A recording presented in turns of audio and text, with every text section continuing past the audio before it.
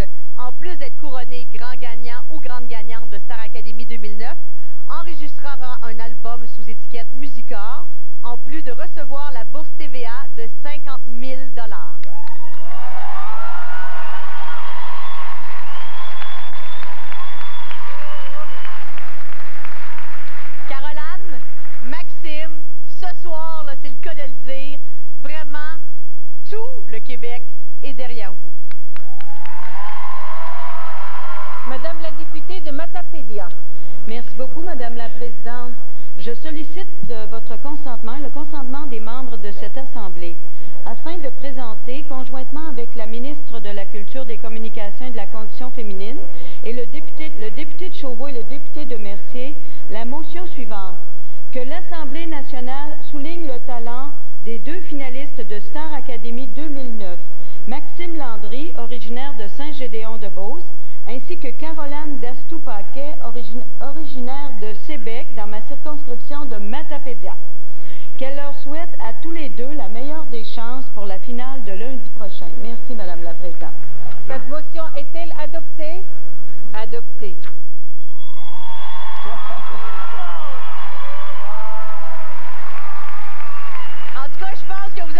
adopté par, par tout le monde et par les représentants. Ou accepté. Ou accepté. Accepté. Caroline! Oh, ma comique! Qu'est-ce que ça vous fait d'avoir été nommé à l'Assemblée nationale? C'est particulier, hein, comme, comme, euh, sensation. Je pense que c'est la première fois que j'ai été euh, pas acceptée, mais euh, c'est quoi? Nommée. Nommée à la- nommée à l'Assemblée. Donc, euh, c'est un privilège. C'est rassurant, il y a au moins une chose sur laquelle les libéraux, les péquistes et les adéquistes s'entendent, c'est sur votre talent. Merci. Bonne chance à tous les deux, à Caroline et à Maxime.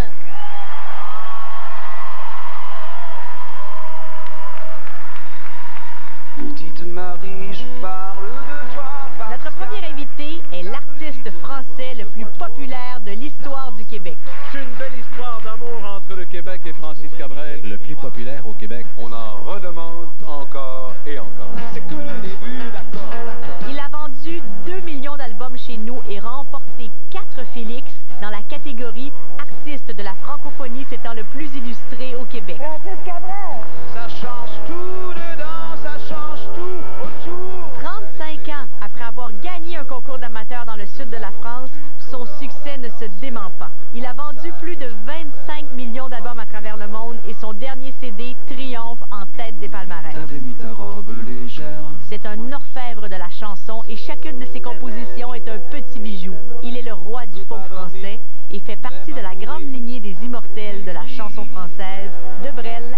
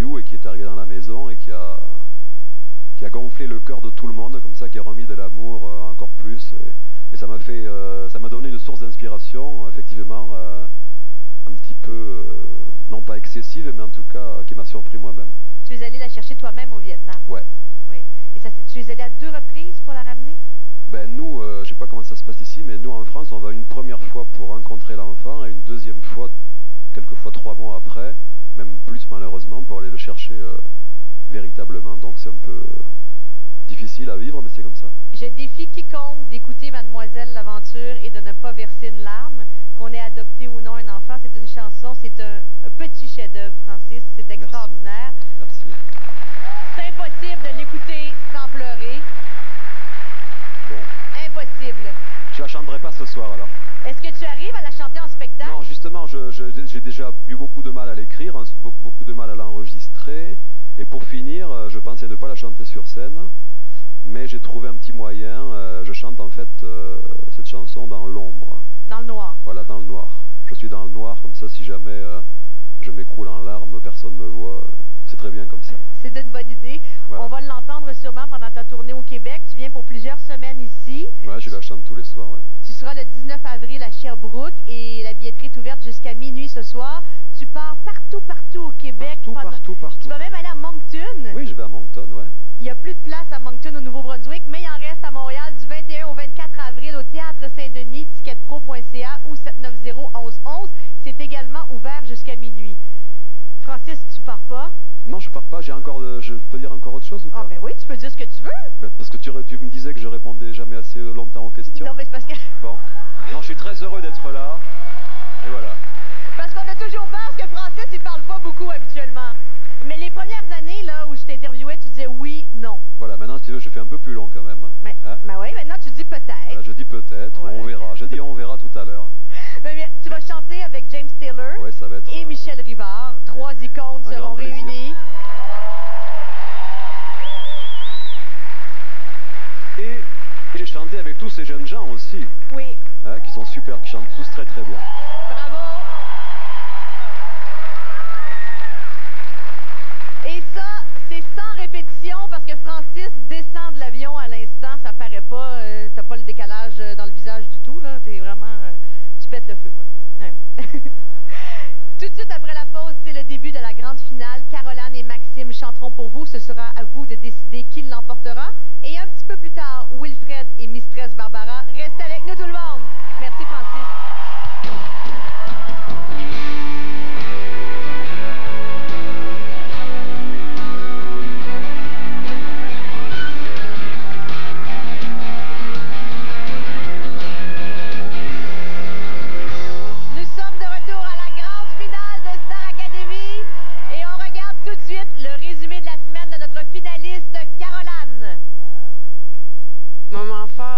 c'est euh, probablement quand on est allé en Floride. On est arrivé à l'académie, j'ai même pas eu le temps vraiment de me remettre de, mes émotions, de réaliser que j'étais de retour à l'académie. Je vous invite à venir me rejoindre en Floride ce soir. Ah!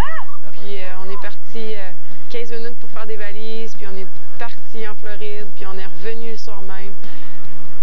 Je pense que c'est un moment assez fort, c'était intense.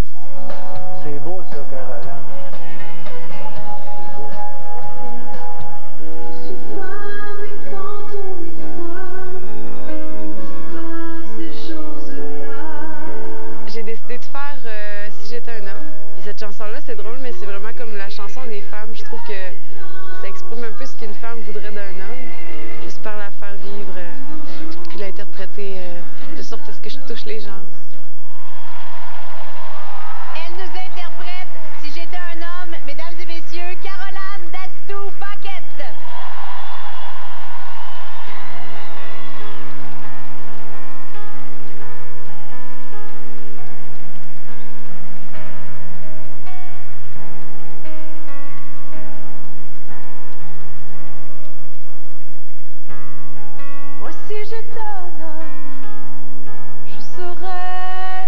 capitaine d'un bateau.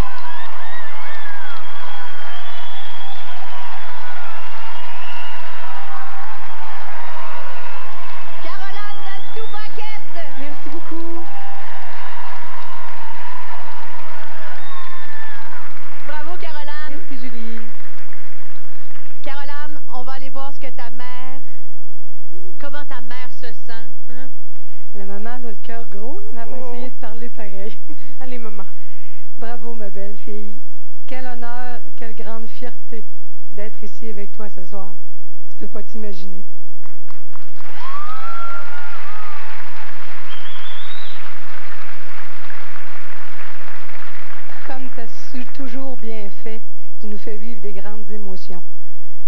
Et tu es merveilleuse. Quoi dire de plus que bravo. Grand maman. Je t'aime. Merci beaucoup, Suzanne.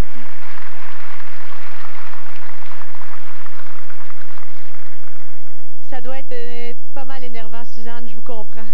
Je vous comprends d'essuyer une petite larme parce que votre cœur de mère, là, ça doit être quelque chose, hein? Merci. Cœur de fille aussi. Cœur de fille, ben oui, excuse-moi. T'as raison. Excuse-moi, Caroline, je pense juste à ta mère. C'est quand même toi qui as chanté, je suis désolée. Mais non, t'es rendu comique, coudon. Ça arrête pas, une joke attend pas l'autre. Je l'ai acheté, c'est euh, Monsieur Blague. T'as acheté des blagues à Jean-Philippe? ouais, des blagues à Jean-Philippe. Ah! La grande finale de Star Academy se poursuit avec Maxime dans 30 secondes. Restez avec nous.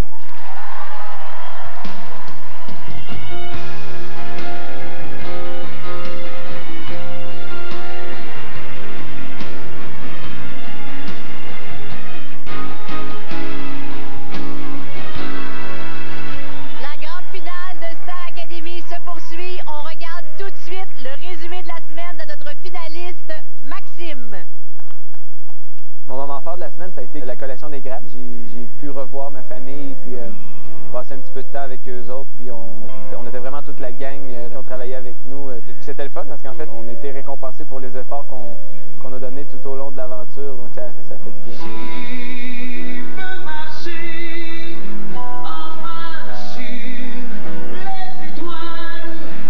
J'ai choisi Si Dieu existe de Claude Dubois.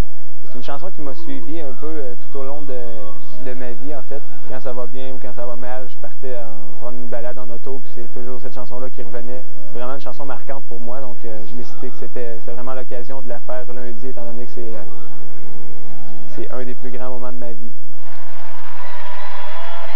Il nous interprète Si Dieu existe. Mesdames et messieurs, Maxime Landry.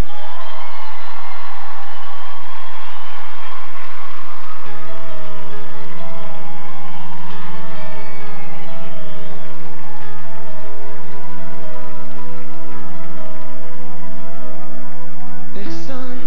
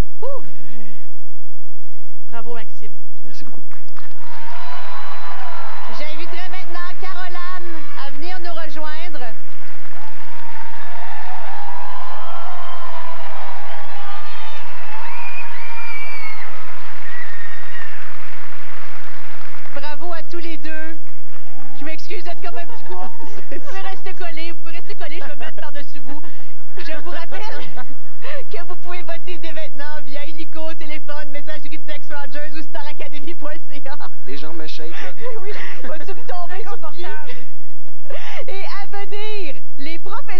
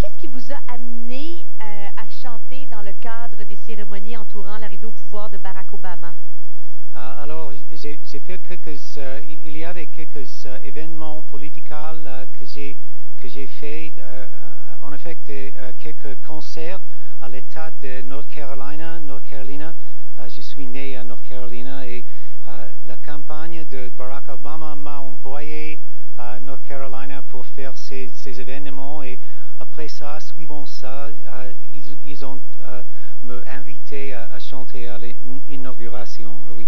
Parce que vous avez gagné la Caroline du Nord pour la première fois depuis 1976. Ce sont les démocrates qui ont gagné. Oui, c'était très excitant. C'était formidable.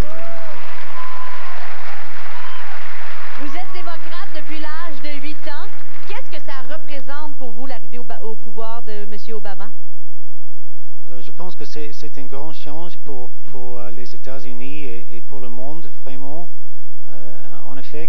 je, pense que effectivement que les États-Unis euh, ont, maintenant, dans un sens, joigné le monde encore. Euh, c'est euh, c'est quand nous avons réveillé, dans un sens. Ça a été le réveil des États-Unis pour vous? C'est très bien. Comment ça se fait que vous ayez été le premier artiste à avoir été signé par les Beatles sous étiquette Apple?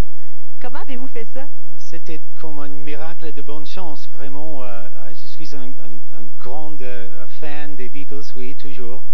Et je suis arrivé à Londres à, l'année 68. Je, voulais visiter quelques amis, mais j'ai fait un, un démo disque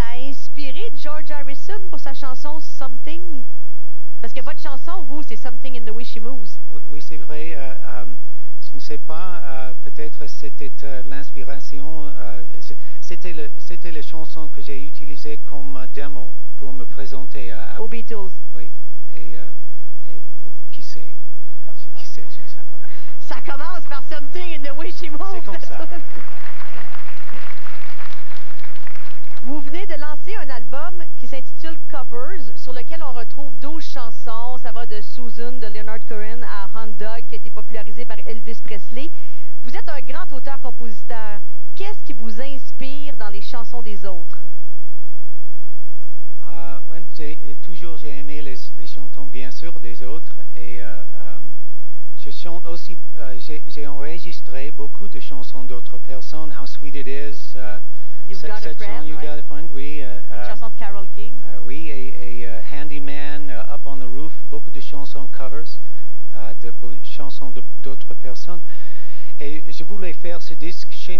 uh, o Jabi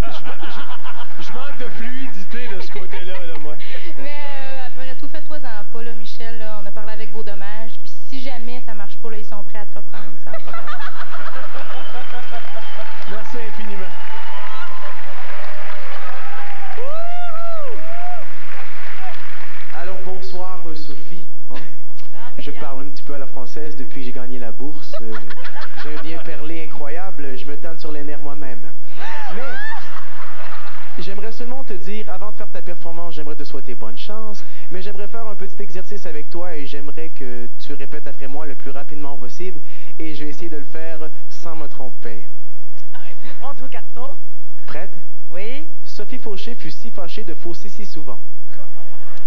Sophie Fauché fut si fâchée de fausser si souvent. Ah ben parfait, merci.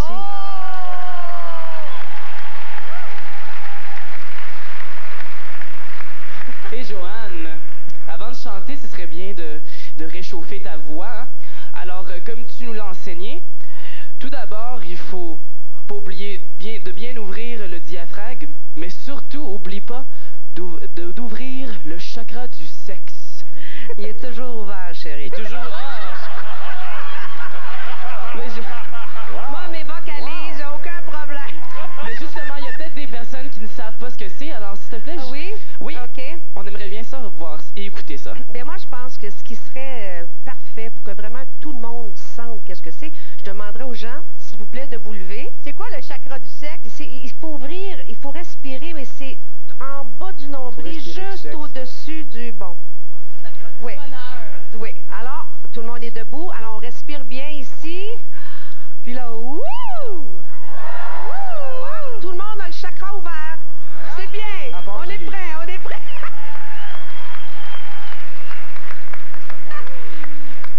Et euh, Stéphane, Oui. on sait ton idole, c'est Jacques Villeneuve, mais c'était-tu vraiment une bonne raison pour te mettre à chanter?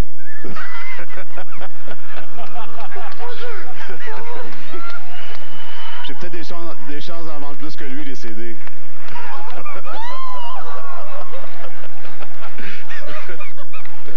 Hey, ça arrête pas ici! Alors Stéphane, on te demanderait peut-être de, de te dégêner un peu moins, s'il vous plaît. Stéphane, euh, ce soir, tu en danger et euh, je veux pas te décourager, mais j'ai l'impression qu'un peu euh, comme les Canadiens de Montréal, tu vas être éliminé assez rapidement. oh. Wow. Alors, je vous souhaite, après ces bons conseils, bonne chance! Bonne chance! Ça va? Vous êtes prêts? On est prêt. Ça va super bien. Là, on est prêt. là. On va maintenant regarder le résumé de la saison de nos en danger. Avec vous autres, là, je veux garder la barre haute. Je veux pas être. Je veux pas changer parce que vous commencez. Tu devrais arrêter de parler complètement pendant 24 heures.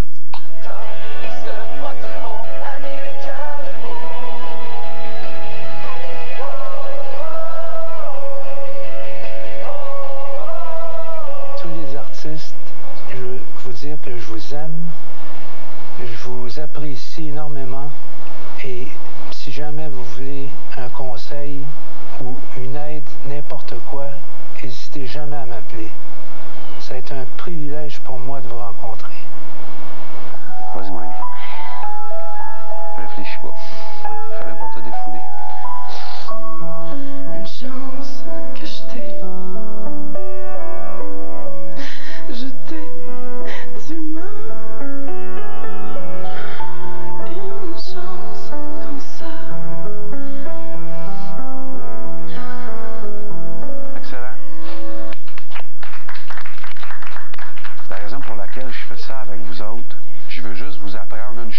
C'est que vous autres, vos bébites, c'est vos amis. Je trouve que les riffs de Git sont incroyables. Ben, merci. Git, j'ai compris que c'était guitare. Des riffs, c'est quoi? Ce sont des accords? Des rythmes? Euh, un riff, série d'accords. Une série d'accords. Mon chéri d'amour, prends ça et je m'excuse. À genoux, riff est dans le dictionnaire. Ah, c'est vrai, je suis désolée, je ne sais Sophie, t'as des croûtes à manger. Oui, j'ai des Faut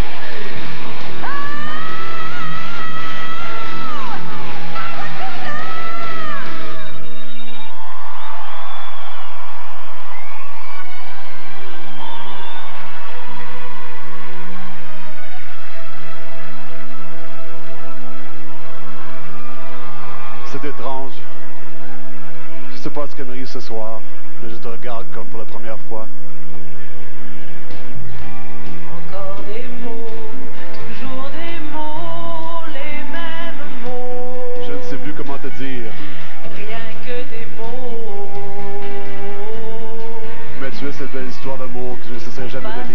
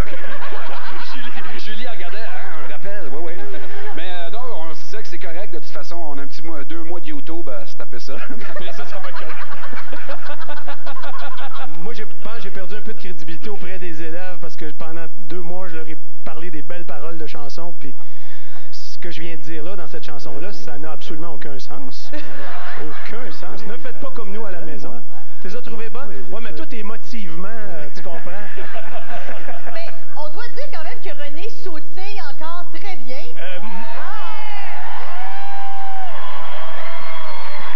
Comme quoi, on peut sortir, le- on peut sortir le gars des baronets, mais on peut pas sortir le baronet du gars. Hein? Non, mais la chorégraphie, c'était extraordinaire. On a essayé de reproduire l'original parce que quand quelque chose est parfait, pourquoi essayer de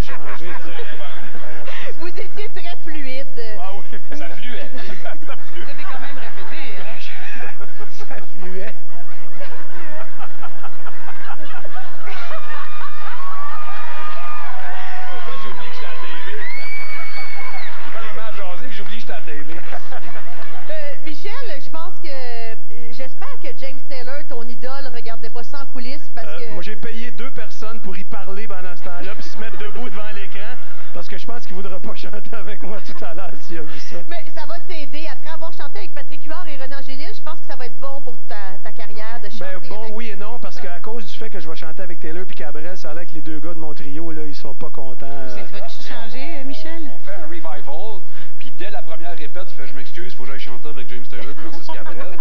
Je trouve que ça fait de l'attitude un peu. J'ai juste une question à poser à René. Avec l'habit de même, là, je savais quoi faire quand c'était le temps de danser, mais là, je sais vraiment pas quoi faire.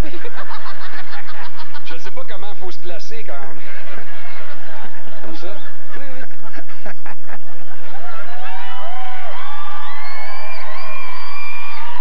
Je veux savoir. Ah ouais, il l'a.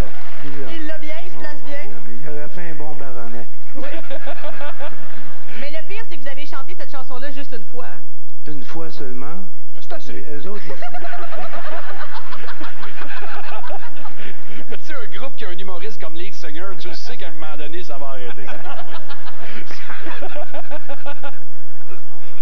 Mais bravo euh, à tous les professeurs. Et maintenant que Star Academy est terminé, on va parler de vos projets.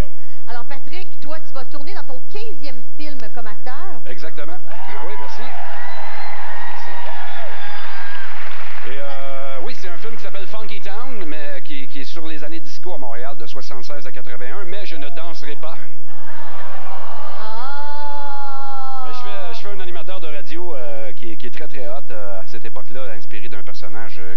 qui a déjà vécu et qui a eu une fin tragique. Euh, donc, euh, on commence à tourner ça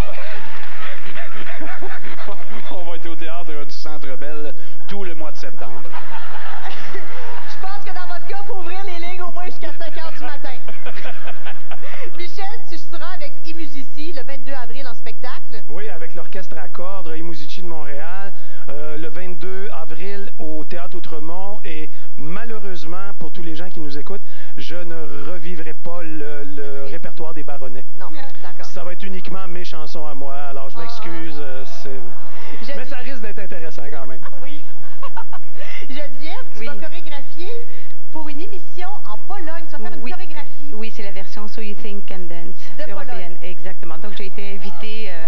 Bravo. Oui, merci. Stéphane, toi, tu vas travailler à ton centre d'entraînement, le Mansfield, qui est dans le complexe du centre d'entraînement des Canadiens. Oui, je vais être là pour le prochain, euh, jusqu'en septembre. C'est notre nouveau projet. Oui. Merci beaucoup. Et Sophie, toi, tu vas, tu retournes au cinéma aussi? Je ne compte pas les films auxquels j'ai participé, mais c'est moi qui les. C'est parce que moi, c'est avec la participation exceptionnelle, mais je- je- euh, la vie d'André Mathieu va se réaliser par euh, Luc Dion, et je vais jouer là-dedans Cécile Lebel, qui est la dernière gérante d'artistes. Alors, j'ai observé M. Angelil pour, euh, pour ton rôle. Et puis oui, c'est ça, pour mon rôle. Non, non, mais je suis ravie donc d'avoir ce tournage. Mais j'avais quand même aussi quelques projets de peinture, euh, Julie. Je commençais, commencer par ma terrasse et mes chaises de jardin. Merci, Sophie. Joanne, toi, tu vas lancer un DVD. Oui, un L'Académie DVD. du chant. L'Académie du chant avec euh, Joanne Blouin et puis c'est euh, Tous un trucs. DVD cours de chant. Alors c'est vraiment pour tout le monde, c'est pas que pour euh, je vais parler de la glotte ma chère. et puis le chakra et tout. Prononcé comme faut, hein? Oui oui oui. Alors euh, des cours de chant sur DVD euh, tournés à l'Académie. C'est quoi le cours sur la glotte? Ah, c'est c'est c'est faut acheter le DVD, tiens. OK, on va comprendre ça. D'ailleurs, moi, tantôt, j'avais la glotte à terre. Après la toune, je veux juste le dire. Ça paraissait que t'avais la glotte à terre, Patrick. Un peu de sérieux, les professeurs ici, non? Mais c'est désespérant!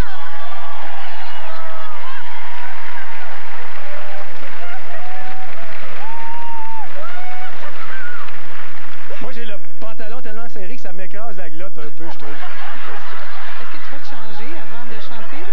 C'est pour ça que tu chantais haut comme ça? Oui, exactement. Ah, OK. Julie, as-tu perdu le contrôle de ton? Moi, moi, je me sens très bien glotté.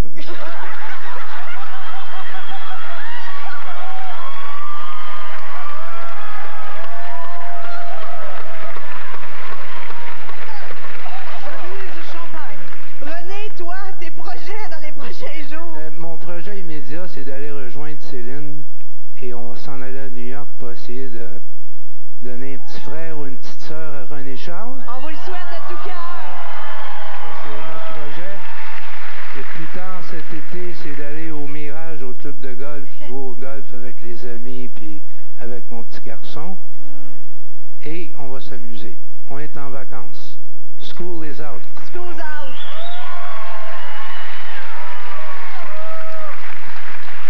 Maintenant, on va aller voir Marie-Annick Giffard pour. Est-ce qu'il y a des projets pour les académiciens, Marie-Annick? Ça s'en vient, ça s'en vient, Julie. Alors, en plus d'annoncer ce soir deux nouvelles supplémentaires au Théâtre du- Centre Belle, une nouvelle supplémentaire au Colisée Pepsi de Québec, on vous annonce que la tournée part sur la route.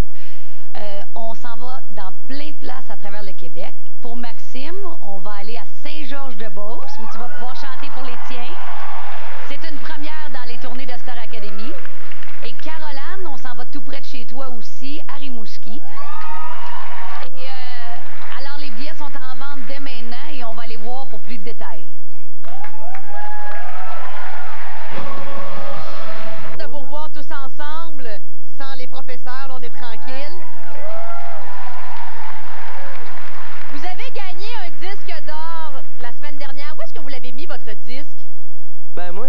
Ça chez nous. Puis là, j'étais fier. J'ai dit à ma mère, hey, j'ai assez hâte d'accrocher ça en mon lit. Ma mère, elle me dit, euh, non, on accroche ça dans le salon. Pas eu le temps de négocier. Il est dans le salon. Il est déjà là. Moi, ben, mon disque d'or, il est juste au-dessus du trophée à mon père dans le salon aussi, qui est son Harley Davidson. On passe beaucoup de temps à regarder le Harley et le disque d'or. Donc, il y a ces deux trophées. Oui. Mais faut dire que pour ma part, j'ai pas vraiment eu le temps d'aller chez moi. Donc, il est attaché côté passager dans mon char. T'es pas retourné chez toi encore? Pas vraiment, non. T'as pas eu le temps. Moi, Julie, je l'avais accroché bien simplement dans la cuisine. Puis là, je me suis aperçu le soir, quand j'arrive, il est plus là. Puis là, un moment donné, je vois mon père venir avec le câble. Puis je venais d'apprendre qu'il qu'il l'utilisait pour attirer du capital sympathie d'un bar. Il avait mon câble et le. Oh, ben, c'est vrai ça! Il est où, ton... il est où Serge? Il est où Serge, Sergio? Dans ce coin-là. Sergio, vous vous servez du cadre de votre fils pour draguer les filles. Ah ben ça, on l'avait jamais fait celle-là. Est-ce que ça a changé quelque chose dans votre vie quotidienne depuis que vous êtes sorti de l'académie? Avez-vous changé des choses dans vos habitudes? En fait, Moi, j'ai un petit incident. Il y a deux semaines, j'étais à la banque pour encaisser un chèque.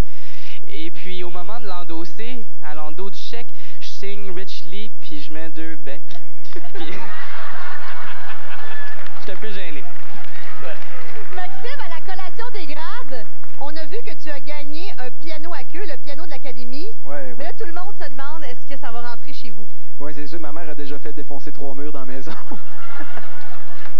Non, parce qu'il est immense. là. ouais, non, mais puis le disque d'or va aller juste au-dessus. Puis il va aller où le piano, là? Au sous-sol, il y a un beau coin, tout est, tout est fini en bas, là, ça, ça va être une très belle place. Donc, on est rassurés. Caroline, toi, quand tu as reçu ton prix de Stéphane Quintal, on ne savait pas encore si les Canadiens allaient en Syrie. Mais là, on sait qu'ils vont en Syrie. Et Ouais, Stéphane va pouvoir te dire où tu vas aller voir le match avec lui. Oui, on part, on part pour euh, Boston. euh, Attention, Stéphane, on t'a pas entendu, excuse-moi. On part pour Boston euh, vendredi. Euh,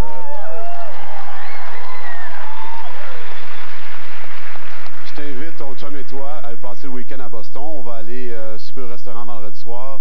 Le samedi matin, on va aller voir la pratique des deux équipes euh, le samedi matin et le samedi soir pour le match. On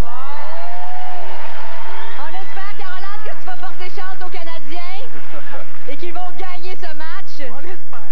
Et là, je veux juste avoir l'air de montrer que je connais ça, le hockey. Là. Tu sais que Stéphane connaît bien Boston, les joueurs, parce que c'est là qu'il a été repêché au début de sa carrière. Tu devais savoir ça, toi, mais moi, je fais juste semblant de le savoir. Là, mais... Donc, il connaît tout le monde. Ça va être extraordinaire comme week-end. Merci beaucoup. Mais ça fait longtemps de ça. Pardon? J'ai dit ça fait longtemps de ça. C'est en 87. ça. Quand il a commencé, il a commencé à... T'étais pas né en 87? Oh, mon Dieu! Oh, oh, oh! Ça se peut pas! C'est vrai, t'as juste 18 ans! Ça, ça fait mal. Oh. Ça, c'est dur, hein, Stéphane? Elle était pas née quand t'as... Oh, mon Dieu! Ah! Pierre Marchand a aussi un dernier mot à vous dire. Pierre? Maintenant que Julie a pris un coup de vieux un petit peu, là, tu viens de réaliser. Hein? Oui. Euh, cette année, je pense qu'on peut le dire aisément que on a une gang très particulière. On a des gens qui ont beaucoup de talent. Puis en plus, on a des gens qui ont de la personnalité. Ils sont très attachants. La preuve, c'est que la semaine passée, René nous annonçait qu'on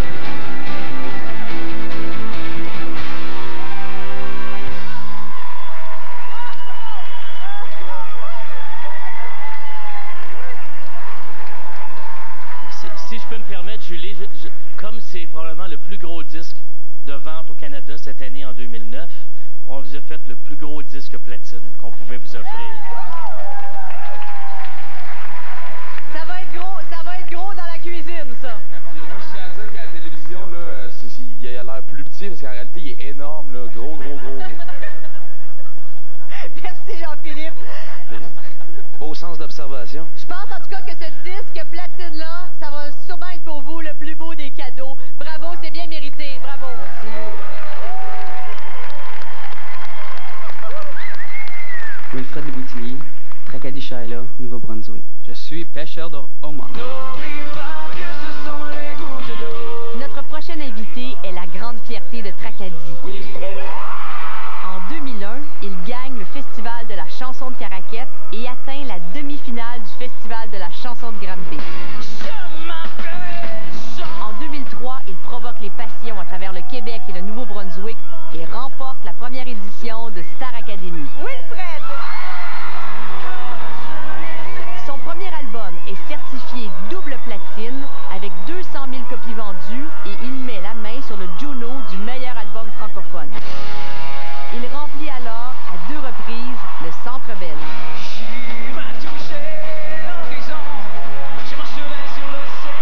Merci beaucoup tout le monde. Merci de ce rêve si beau. Je vous aime. Merci. Le Canada, ce soir, en direct Warpax. Il est sacré aux côtés de Marie-Hélène Thibert, vice-champion du World Best à Cannes. Comme auteur-compositeur de Je ferai tout et avec toi, il reçoit les prestigieux prix de la SOCAN, remis aux auteurs de chansons jouées plus de 25 000 fois à la radio. Avec la sortie de son troisième album Droit devant, le plus célèbre des pêcheurs acadiens reprend la route pour le plus grand plaisir de ses fans. Quand Jimmy chante,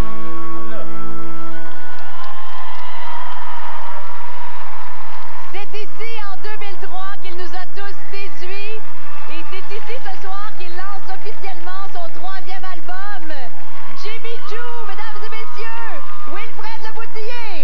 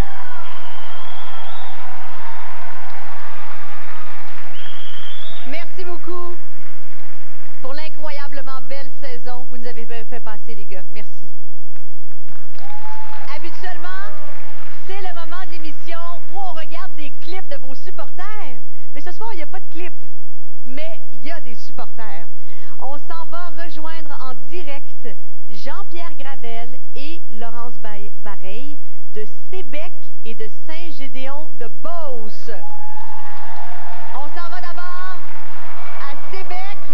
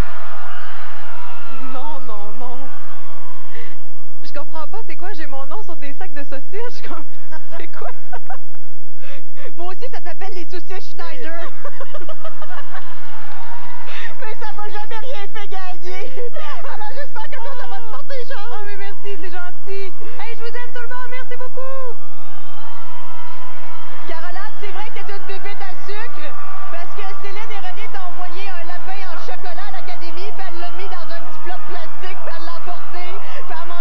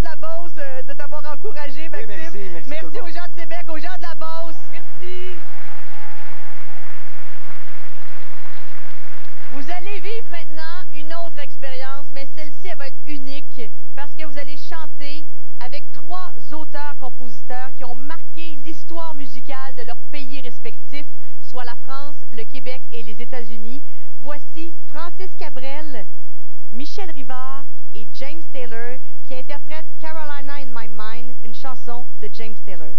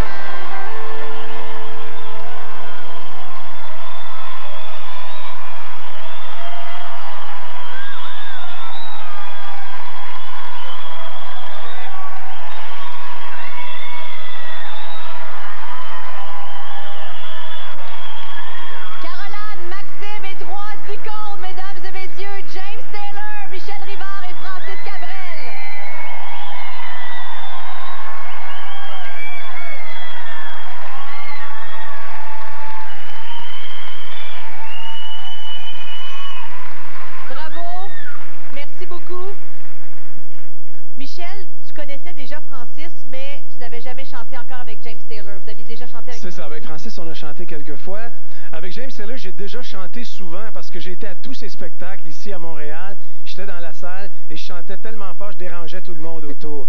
Mais c'est la première fois que officiellement je peux chanter avec ce monsieur qui, je dois dire, est responsable, partiellement responsable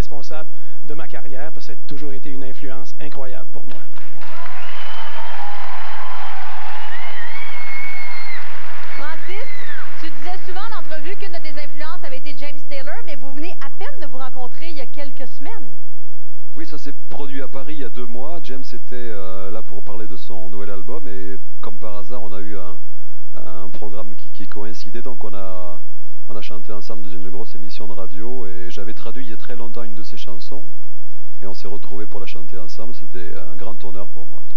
La chanson, c'était Milk Walker. Vous l'avez entendu, Monsieur Taylor? Oui, oui, j'ai entendu. Nous, a- j'ai- j'ai chanté avec, euh, euh, avec Francis à Paris cette, cette chanson. La Fabrique, Oui, La en Fabrique, français, oui, en qui se retrouve sur un de tes albums qui s'intitule Public. Un, un album public qui est paru dans les années 82, 3 ou 4. ouais. C'est Donc, c'est vraiment de longue date. très longue date que ma, ma passion pour le répertoire de James Taylor euh, existe. Allez-vous revenir en spectacle à Montréal, que Michel puisse aller vous revoir et nous aussi? Oui, c'était lui. Oui, je ne savais pas. C'est moi qui chantais trop fort. C'était lui! Ah! On vous souhaite et on se souhaite que vous reveniez à Montréal avec vos deux jumeaux de 8 ans. Le plus vite possible. Merci beaucoup, Monsieur Taylor. Merci.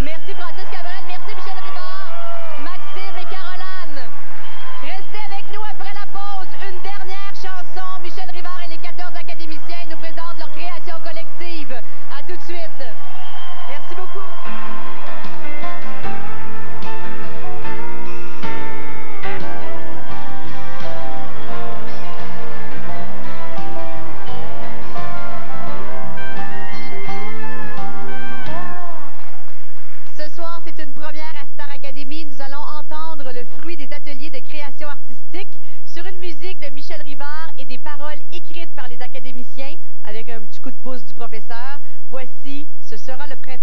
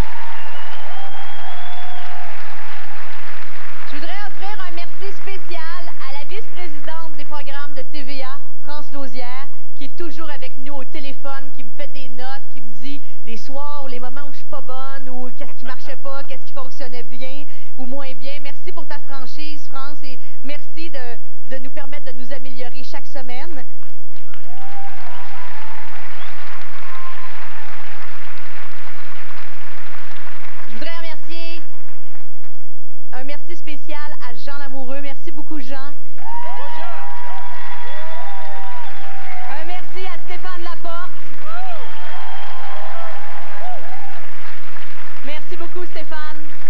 Merci pour tout. Un merci à Jean-Philippe Dion, qui est toujours avec moi jour et nuit, presque. Merci à Marie-Ève Dallaire, la productrice. Merci aussi à Pierre Séguin et à Suzanne Labelle. Je ne peux pas nommer tout le monde, mais un merci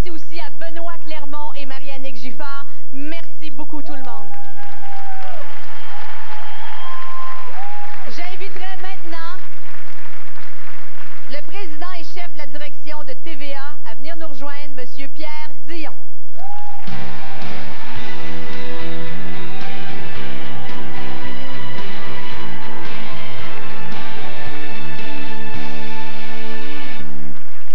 Bonsoir Julie. Bonsoir Pierre.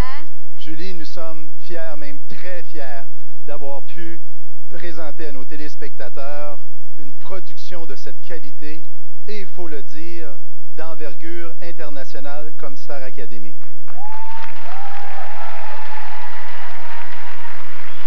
Merci à toute l'équipe. Merci aux académiciens. Vous nous avez fait vivre des moments magiques au cours des dernières semaines. Un gros merci.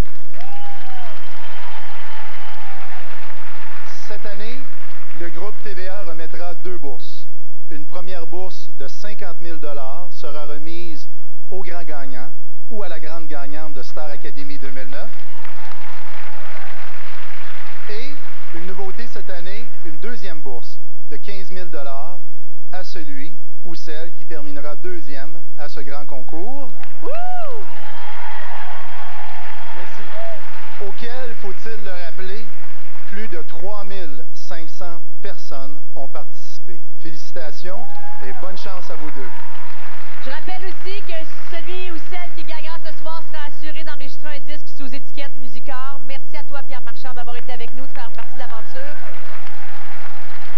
Et j'inviterai maintenant à venir nous rejoindre avec le trophée Star Academy 2009 et avec l'enveloppe contenant le choix du public, celui qui garde nos enfants les fins de semaine et qui, la semaine, a un petit passe-temps. Il est président et chef de la direction de Québécois, Pierre-Carl Pellado.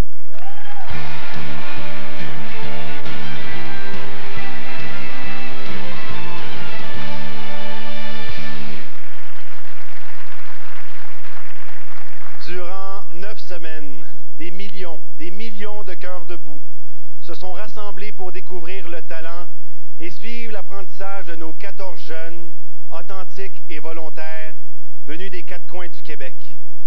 Nous avons réalisé, encore une fois, à quel point le Québec est un fleuve extraordinaire quand il se laisse emporter par sa jeunesse, ses rêves et ses espoirs.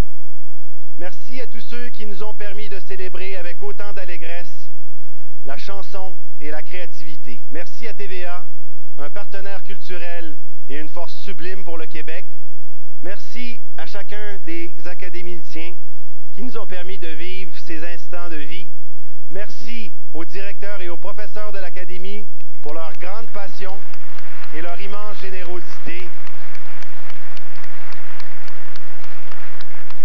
Merci à tous les artistes venus partager leur musique et leur talent. Et merci à vous, public, d'avoir transformé tout ce travail en ce grand succès. Merci. Et évidemment, un merci tout particulier à toi, Julie, et toute ton équipe des Productions J pour cette saison couronnée de lauriers. Merci beaucoup.